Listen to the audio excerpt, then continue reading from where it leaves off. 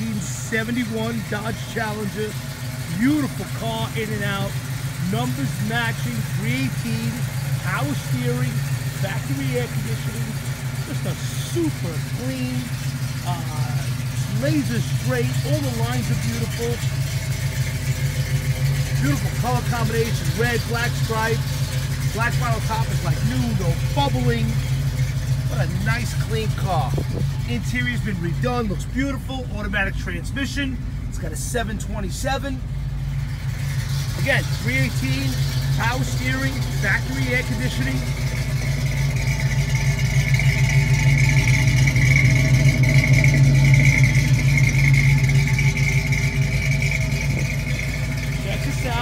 Hollywoodmotorsusa.com.